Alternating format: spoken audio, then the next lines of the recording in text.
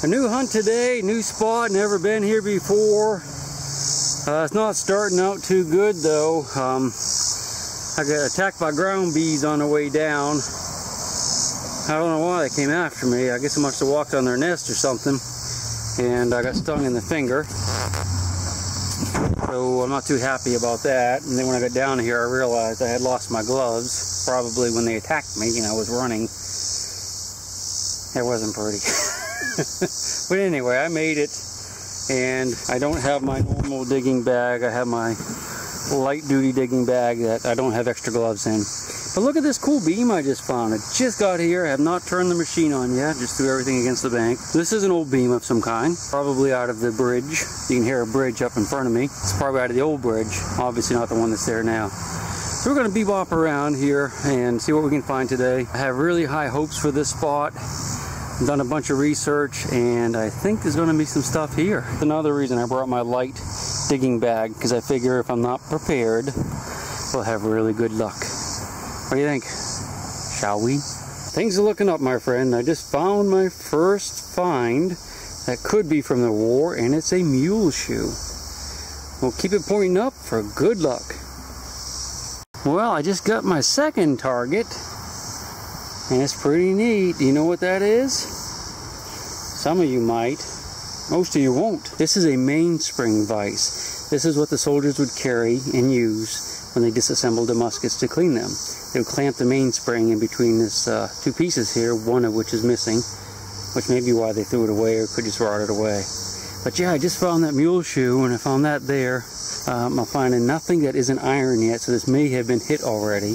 But we'll go ahead and we'll hit some of this iron while we're going along. There's a lot of fence wire too. But we're going to keep checking for this kind of stuff because I really like this kind of stuff. That's, that's neat. I just found this and I'm not sure what it is. I thought it was a button at first. One side says United States Company and the other side I cannot read. United Cypress Company. That's a little bit different. I can't read that, but uh, yeah, it's my first non-ferrous target in this little stream so far. As I'm going along here, I'm noticing there's a lot of junk, and like pieces of pipe and things like this, which is stuck down there. There's some slate. That's probably off an old uh, house. Hole is a nail hole. But I could look down and see what looked like a stirrup, a horse stirrup over here. Ah, right there. You think that's what it is? I haven't picked it up yet. Right here. It goes around. Yes, look at it. Oh, that's what it is. That is a stirrup for a riding horse. Not very heavily made, so it's probably not military, but cool nonetheless. I like this little spot. Awful lot of stuff in here. Just, uh, just junky stuff though. Oh wait, I did find a bottle. I want to show that to you too. Hold on. Which I wasn't going to keep, but uh, probably still not going to keep it. Can you tell me why? Can you tell me why I'm not going to keep this bottle? Well, it's clear. Because it has a passenger. There's a passenger in this bottle. Did you see it? Get ready. Here he comes.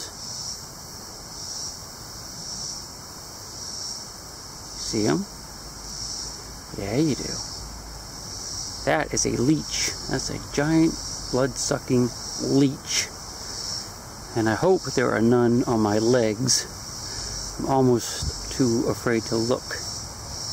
Oh. There you go, little buddy. We're going to let you go back in the water. Yes, we are. Here. Yuck. All right, I'll leave the bottle there. Maybe somebody will come along and find it and be really happy and get a leech on them. Well, I just dug a hubcap down about a foot over there, but here's a neat wagon wheel or some type of cart wheel. I believe. On top to a barrel. I don't know what the heck it is that poison ivy, by the way. I just realized that. I don't catch it real bad, but I do catch it. Ah, oh well. Hopefully we'll find some good stuff soon. There's a horseshoe I saw from a distance. It means either somebody was already digging here, or maybe they were up in the field and were digging and just threw it down here. Or maybe a horse lost it here. That's a much larger one than the other uh, shoe I found.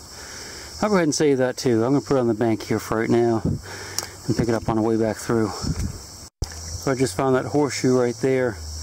And there's a plow point. Remember what they look like? there's one right there. Looks like a giant shark's tooth. This is actually the second one I found today in here. Either the farmer picked that out of the field and just pitched it in the water so he wouldn't get caught up in his haybine, or maybe a trapper was using it down here or something.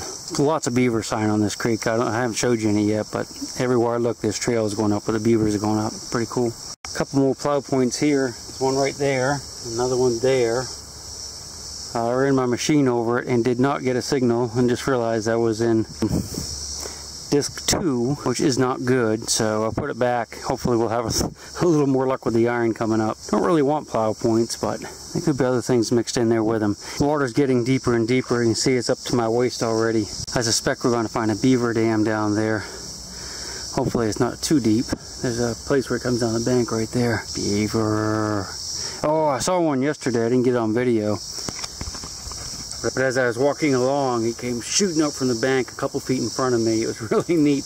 I wish I'd been wearing a GoPro or something at the time. It would have, it would have been awesome.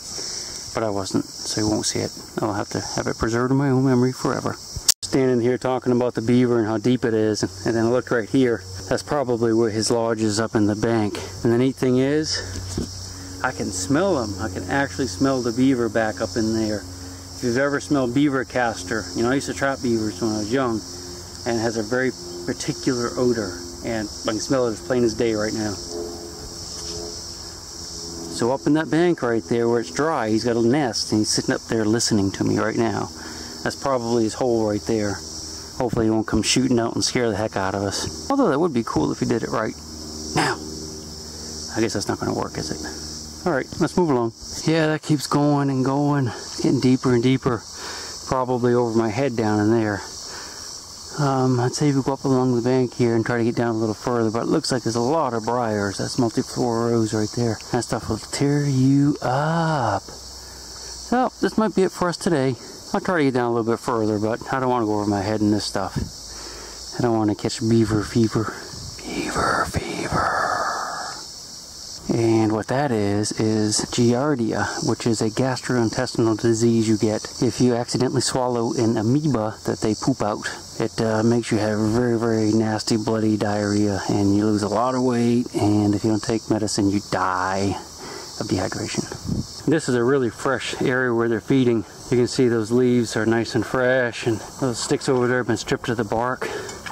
This is their trail, although it's not too fresh because there's a deer track. Deer used it too, but you see where he slips and slides up that up, up in there, chops trees down. In fact, that tree's down right there. Let's go up and look at it.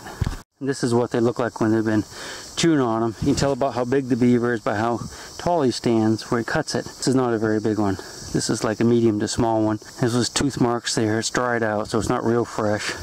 You can see we started eating the bark. That's what they eat to live chopped off these branches, drug them down in the water already. What they'll do is they'll take a lot of these branches and uh, make a big pile underwater next to their den so they can feed in the winter when the ice freezes and they can't get out. There's some poo. That's deer poo, that's not beaver poo. Beavers poo in the river normally. You see how it's all muddy in here where he goes through. Slips down the bank. I predict we'll see him before the day is out.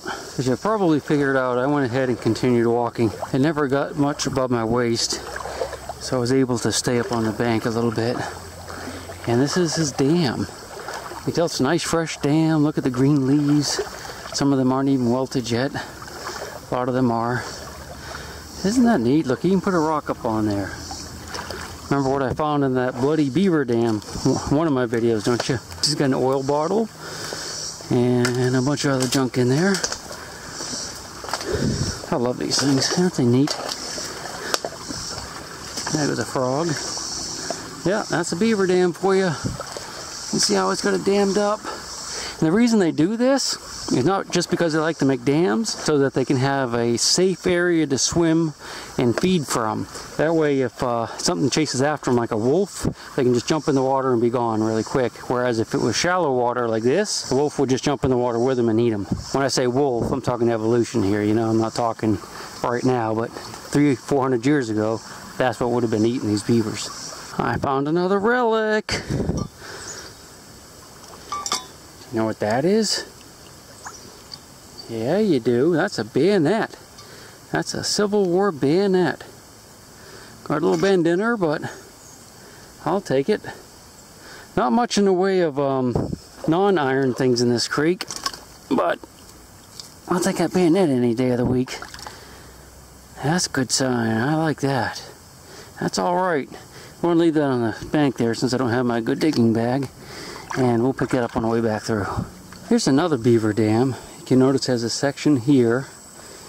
And he uses this rock as part of his dam. And he has another section over there. Now this one isn't as fresh as the other one. But I don't think it's, I definitely think it's this year because it would have washed away over the winter if it had been here and not maintained. We're going to go down about another 100 yards and then I'm going to turn around and go back. I have found nothing since the bayonet and that was at least an hour ago and probably a good mile, mile and a half. And uh, I want to get home before tomorrow so I'm going to have to be heading out soon. But we'll give it 100 yards and then we're done decided to cut through the woods to save me some time getting back since I didn't find anything this last mile or so. There's a big old snake. You see him? This is a black snake or maybe a black racer. I'm not sure which. Almost stepped on the thing. He didn't move at all either. Hey, little buddy. Want to come over here and get petted? Yeah, you do. You're cute, isn't he? Okay, take off.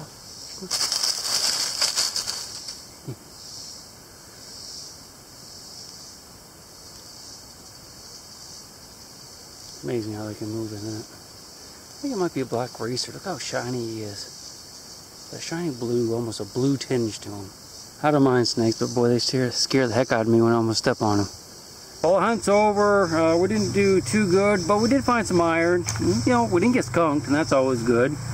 I did not get any leeches on me, which is a nice thing, and we didn't actually step on any snakes, which is another nice thing. So let me show you what we found. This is what we ended up with. We have one stirrup, for riding a horse. Of course, this is the bayonet. Got some mule shoes. You can see they're differently shaped than a horseshoe. Those are horseshoes. And one musket mainspring vise. So, not much. Of, oh, that little doodad that, uh, I don't know what it is. Yeah, and this little thing here. The only non-ferrous thing I found. Kind of weird, isn't it? Well, besides the fishing lure, believe it or not, on this little creek I found a Mepps fishing lure. Crazy. All right, until next time.